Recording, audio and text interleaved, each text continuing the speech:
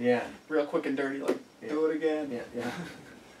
I, I have the wedge there. I just haven't patched it in yet, so Yeah. that's it was sort of a dual purpose, or actually three. It was great that he, he could use that to Part two. This is part two. What's up, nerds? My name is Cory Bergeron, and you are watching Cory Bergeron Recordings. Before you watch this video, if you haven't already watched part one, make sure to do so. I will leave a link in the description. Some of this may not make sense without watching the first video, so go watch the first video. When I think about the future, and what I want to do with audio and what I want to, I guess, achieve career wise. I've had this idea, this dream of having a property, probably somewhere out, maybe in the country, where uh, real estate's a little bit cheaper.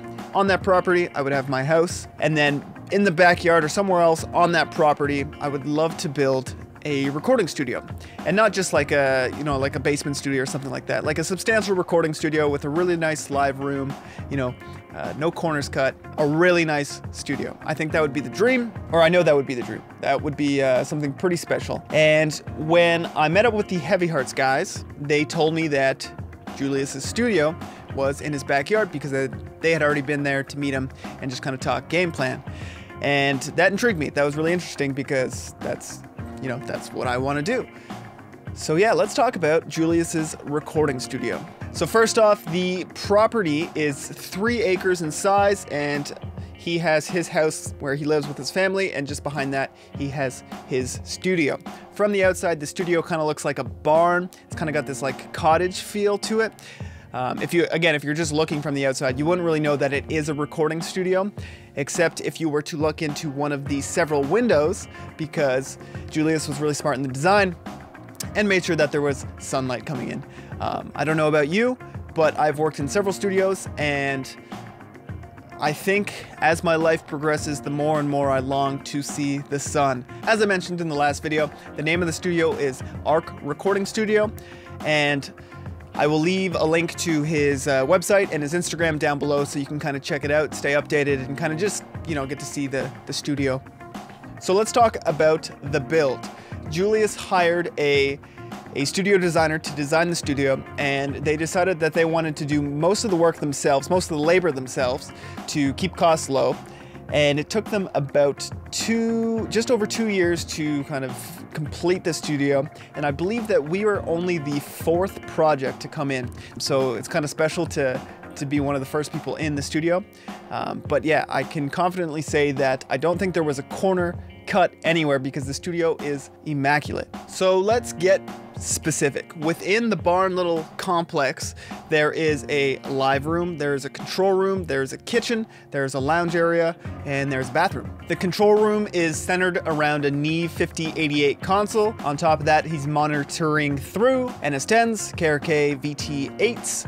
He has a bunch of outboard gear, to just name a few pieces. He's got uh, four API pre's, two API 550B EQs, a Retro 176. The list goes on. So let's move on to the live room. The live room is a large open area. It's really beautiful to look at the wood and the stone that uh, comprise the walls and the acoustic treatment within the room. Julius told me that the wood that is in that room is from trees that they cut down to build the studio. So I think that's kind of special to kind of incorporate a little bit of the nature on your property into the build. There's not much more I can say about the live room other than it sounds awesome and it's big enough to have a band playing live off the floor. Definitely no complaints. So, as I mentioned, there is a little kitchen area. The kitchen area is, you know, a little corner, but it's got everything you need. It has a coffee machine, which is super, super important. But what I think was, or what I think is cool about the kitchen is that you can leave the door from the live room open so the sound from the live room is protruding into the kitchen and they installed a patch panel when they were building the, the, entire studio. So you can put a microphone in the kitchen if you want to record, let's say drums and get a little bit of extra distance. Those are the type of things that you have to think about before you build the studio to get the, uh, the wiring done correctly and, you know, tucked away and hidden underneath all the floors and everything like that. I think it's really cool that they thought about that ahead of time and are maximizing the space and making the most out of it. So right next to the kitchen, there's a lovely little lounge area. I can't say it enough. I don't know who like designed the inside of the studio, uh, like the furniture and everything, but uh, they knocked it out of the park. It is a very, very comfortable and cozy place all around. The lounge is covered in windows, which is beautiful. So you get some sunlight. You get to remember that you're human.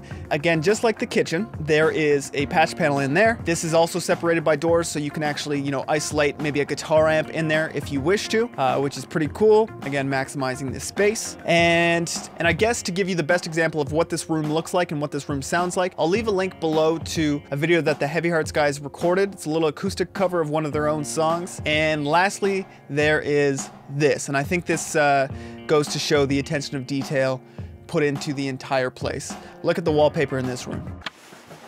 To show you the level of attention to detail in this place, first of all, check this out. I'm in the bathroom. It smells great. Look at this. It's insane. It's even got a shower. That's crazy. So yeah, in conclusion, it is a beautiful studio. Absolutely beautiful. I love the location. I love the live room. I love the gear. I love the vibe. Um, so I guess it checks everything. I hope that one day I can find myself back there, whether it's uh, watching Julius record another band or recording something there myself. It's it's kind of nice and it's kind of motivating to see someone that has spent their life recording music be able to achieve that. Kind of gives me hope if I put the work in, maybe one day I can achieve something like that and create my own little dream studio. Okay, so this is the end of the video. There is going to be a part three. In part three, I'm going to talk about what I learned during these sessions, what I learned from Julius, what I learned from seeing Julius and the band working together.